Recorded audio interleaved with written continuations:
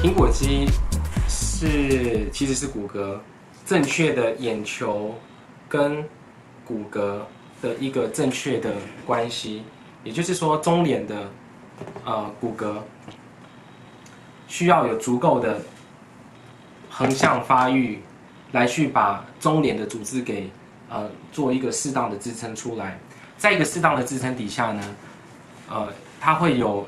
正正确的呃眼球跟中脸的关系，如果没有苹果肌的人，他常常会有一些初老的一个症状，比如说他会觉得眼睛下面呃凹陷呃，或是他的眼袋提早产生，这些都是因为呃中脸的骨骼的一个缺损所造成的。所以严格来讲，苹果肌不是肌肉，而是一个适当的骨骼支撑。苹果肌正确的位置哦，嗯，我试着在我的脸上呃画画起来啊。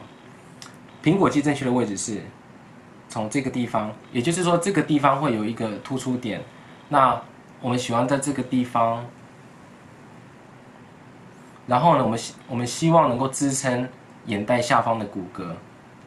然后呢，我们不希望让颧骨呃变宽，所以会是在最宽点的上方这个地方。严格讲起来，苹果肌在这个位置。OK，那么。它是一个比较前后向的一个位置，而并不是一个宽窄的位置。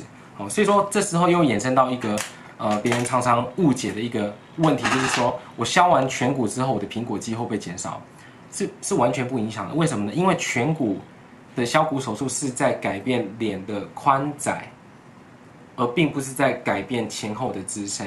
我们要的苹果肌是一个前后的支撑。我们要能够支撑出，呃，有达到保护眼球，还有支撑呃眼袋下方的一个肌肉的一个效果哦。所以说，一个是前后苹果肌是前后向的，削骨是宽窄向的。